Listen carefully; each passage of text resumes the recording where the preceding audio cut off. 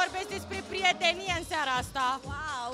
Să știi că ai nimerit persoana potrivită. Pe, nu chiar, pentru că ce cu Claudia, ce ai cu fata, te opui să sară în piscină, să, să ducă cele mai grele munci Păi, de dragul artei. Nu numai uh, Claudia, și Bote, tot timpul când făceam ceva cu el, uh, numai peripeții și ne certam de fiecare dată că eu ori greșeam ceva, nu ieșea cum trebuie și Bote e foarte dedicat atunci când vrea să facă un filmuleț. Și dacă până nu este, repede de 100 de ori și eu începeam cu crize, ne certam. La Claudia, însă și ea la fel, ea tot așa vrea să iasă din prima, să fie bine. Și acum știu, am avut teama aia, ai văzut că e nașpa să te arunci pe spate în apă. Cu toate că nu mai mi-este frică, am scăpat de frica de apă, dar tot am avut tendința, aoleo, dacă mă lovesc sau, nu știu, mă nec, mă gândeam eu. Și acum, na, eu credeam că încă nu o să sară, nu eram încă pregătită fizic, dar n-am apucat să-i spun. Ea nu ar fi sărit oricum, cine n-a văzut TikTok-ul să intre pe TikTok și să o să-și dea seama despre ce vor. Da, n-am sărit, i-am dat țeapă, dar în același timp când ea acolo mă blama, eu încercam să găsesc soluții, că trebuia să mai facem încă o dată. Și eu mă gândeam cu ce usuc rochia, cu fierul de călcat, cu peonul. Și am stat și eu am uscat rochia cu fierul de călcat, ea s-a uscat la păr cu peonul și uite așa am mai tras încă o dublă ca să ne iasă filmul reușit. Deci, până la urmă, ați luat de la capăt. Eu am crezut Păi că ați acolo sunt improvizat. ambele filme dacă te uiți. Da, dar mă gândeam că ați filmat îmbrăcate la început și după ce a ieșit din apă s-a terminat și ziua de filmare și Nu, tot. nu, nu, am mai am uscat rochia, ne-am îmbrăcat din nou, ia că eu eram impecabil.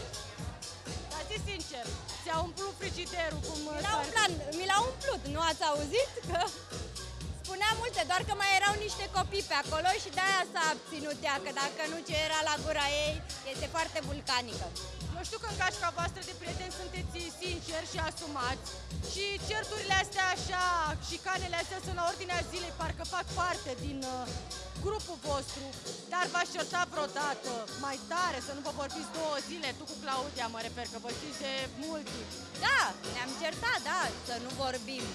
Dar uh, de cele mai multe ori ea a cedat. Eu sunt mai uh, orgolioasă și gen uh, țin uh, nu neapărat dușmănie, dar nu prea mă duc eu să cer împăcare.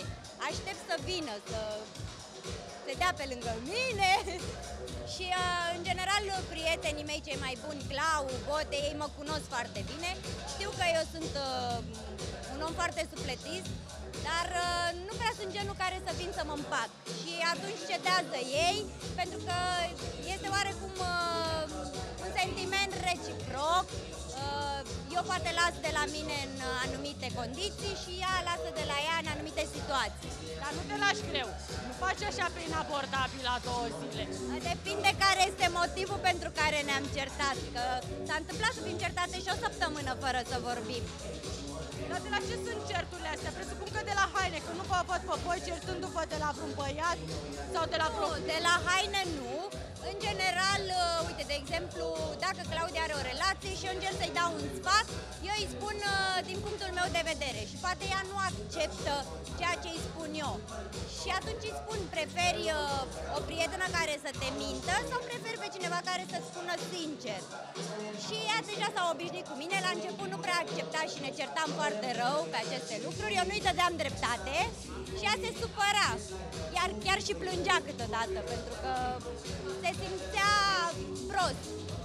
Și apropo de gașca ta de prieteni, acum la Sunt Celebru, scoate-mă de aici, o să ai doi, su- doi uh, concurenți pe care su- trebuie să-i susții, pentru că eu știu că după competiția Bravo Ai Stil ai, rela- ai legat o prietenie strânsă și cu Ruxi și sunt amândoi acolo. Cum o să te împarți? Că trebuie să-ți alegi unul. Știi că și părinții până la urmă, din doi copii pe unul iubește mai mult. Băi, uh, bine, uh, eu cu Bote suntem uh, prieteni de 8 ani. Eu Nu pot să compar relația mea cu Bote și relația mea cu Ruxi. Într-adevăr, și cu Ruxi m-am apropiat foarte mult. O cunosc uh, aproape bine, nu foarte bine. Uh, Și ea este o fată cerebrală, este o fată directă, sinceră. Nu-mi plac persoanele care mint sau care uh, încearcă să te să dea cu bidineaua pe tine. Vai, ce frumoasă ești și pe la spate uh, ce nesimțită sau ce urâtă ești, dau un exemplu. Uh, îi susțin pe amândoi, uh, și pe Ruxi o susțin uh, și sper și îmi doresc ca Ruxi cu Bote să se susțină acolo în competiție, uh, pentru că, îți dai seama, amândoi îmi sunt dragi și mi-ar plăcea să se înțeleagă și să-și ia apărarea unul altuia. Te-ai antrenat un pic cu, cu Răzvan înainte să, să plece, pentru că eu știu că el te-a susținut foarte mult atunci când ai fost tu la Survivor, dar acum, venind și rândul tău, nu știu, să-i aduci un gândac, să vezi cum reacționează, să vă antrenați așa, unul pe celălalt. Bă, nu, nu, eu am încercat doar să-i ridic moralul, totuși n-am ajuns uh, în stadiu în care să-i aduc gândaci. Îi spuneam și eu, mamă, mai ții minte, știi, la matinal când mi-a adus mie un șarpe și trebuia să dansez cu el, zic eu nu știu dacă o să trebuiască să intri și să stai într-o pușcă de aia cu șerpi, nu știu cum o să te descurci, că uh, el nici la matinal n-a vrut să atingă șarpele, eu am dansat cu el și la un moment dat l-am aruncat când am văzut că vine spre mine, că m-am panicat. Zic că tu ești mai fricos decât mine, îmi doresc din tot sufletul ca el acolo să fie foarte bun și să-și înfrunte orice frică. Știu că este frică de șobolani, de șoarici. Am văzut că deja a făcut o probă, pentru că am văzut și eu teaserul pe care l-au dat pe post și îmi doresc să fie cel mai bun, să iasă regele junglei, pentru că merită. Eu știu că băiații locui la un moment dat împreună sau cel puțin petreceați foarte mult timp.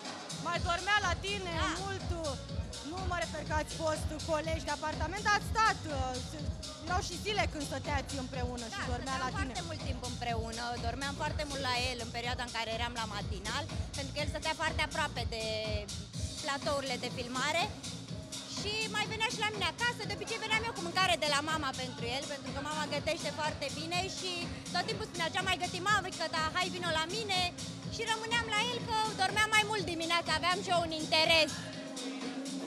Îți mulțumim din suflet, abia așteptăm să te revedem pe micul ecran, deși știu că vrei să faci o pauză, dar niciodată să nu spui niciodată. Da, dacă vor fi proiecte pe perioadă scurtă care să-mi placă și să fie uh, pe placul meu, da, nu o să spun nu.